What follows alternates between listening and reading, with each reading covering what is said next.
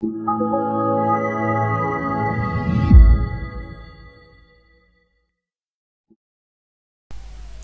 morning, my name is Stéphane Altazin. I'm technical consultant at Fluxim and I want to present you today how to simulate and optimize OLEDs with a scattering layer. This work was done in collaboration with the ZHAW, the Holst Center and DuPont Teijin Film. First, I want to introduce what Fluxim does.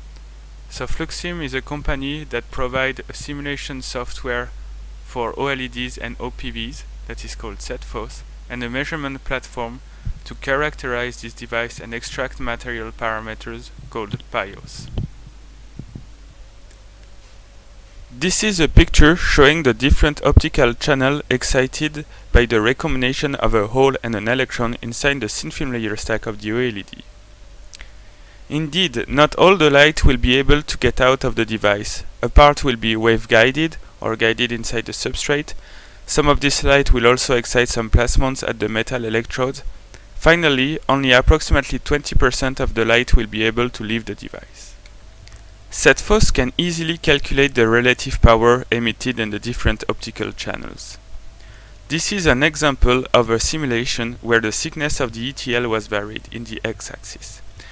We can see in red that the maximum of the light getting out of the device is obtained for an ETL thickness of approximately 75 nanometers.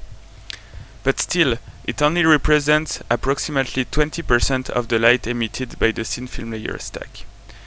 In order to get more light out of the device, some optical tricks involving light scattering are required. One way to simulate OLEDs including light scattering tricks could be to run a full wave simulation, for example using a finite element solver.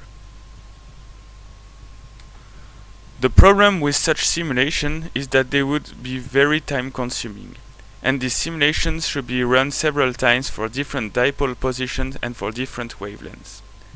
Moreover, the presence of a thick incoherent layer, like the substrate, inside the OLED device would make this type of simulation almost impossible.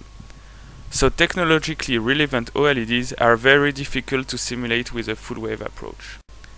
Therefore, the approach that we have chosen at Fluxim is to couple the nano-optic physics of the oscillating dipole coming from the recombination of a hole and an electron with ray optics for the light propagation in incoherent layers. This is how it works inside SETFOS. First, the user needs to import the scattering data, for example an AFM image of a rough surface or the optical properties of scattering particles. Then SETFOS will automatically compute the corresponding BSDF. These, BF, these BSDF are then passed to the core of the software where the light propagation coming from the oscillating dipole inside the, the thin film stack is calculated.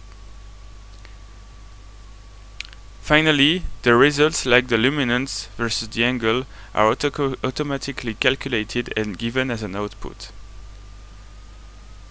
These two features, importing an AFM picture and the Mie-scattering feature, are new in SETFOS 4.2 which was released in August 2015. In the previous slide I was talking about BSDF. A BSDF is just a table relating the incoming angle to the outgoing angle. For example, if we take a flat interface, the reflection part of the BSDF is just one line, as the light is only reflected in one angle. The transmission part of the BSDF is the Snell law, where we can see the angle of total, total internal reflectance at 42 degrees for the light coming from glass to air. But when using a rough interface, the light will be reflected and transmitted in different angles. Therefore, the BSDF for reflection and transmission are not just single lines anymore. Moreover, we can observe the disappearance of the total internal reflectance angle as we still observe some transmittance at angles above 42 degrees for the light coming from glass to air. We now have a nice model for the simulation of OLEDs including the scattering tricks. But it is nice to compare simulation results with experiments. So this is the experimental device that we have chosen. It consists of the top emitting white OLED with a, with a thin film encapsulation. On top of it, we could introduce an interchangeable haze PET foil. Like this, we can study the effect of the scattering efficiency using the same white OLED stack. We just need to replace the haze PET foil by another one.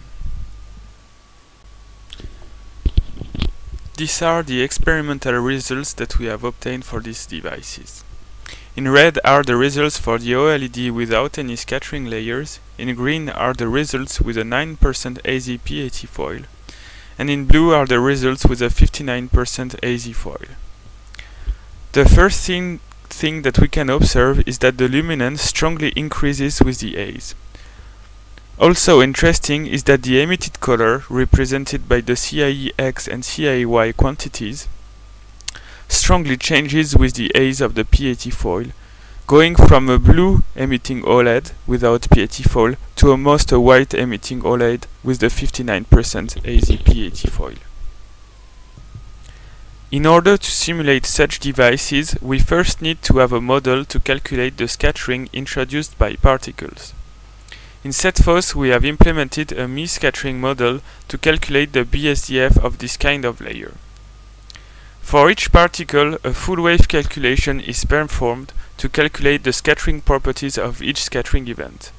We can then consider in the simulation the variation of all optical properties of the particles, like their size, the refractive index, or the refractive index of the host. We can also vary the concentration of these particles. Then, between each particle, we will consider a ray-like propagation using a Monte Carlo simulation. These are the simulation results for the BSDF of a 9% haze PET foil. It is interesting to notice that the reflectance of the layer increases for large angles. This comes from the fact that at large angles, the light path inside the scattering layer is increased. Chances to meet a particle and to undergo a backscattering event are thus increased. This is for the same reason that the transmittance is more diffuse for large angles of propagation. It is also interesting to notice some preferred angle of propagation which are surrounded by a purple ellipse in the transmittance BSDF. These angles correspond to the optical resonance of the scattering particles. Once the BSDF of the scattering PET foils are calculated, we can now simulate the full OLED stack.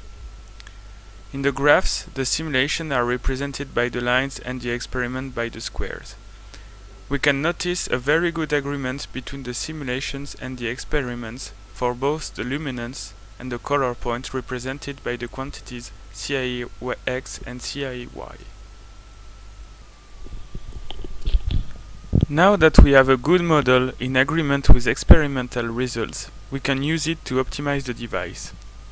Here, we wanted to optimize the thickness of the PEDOT layer in the device with a 59% haze PET foil in order to obtain a color as close as possible to the white.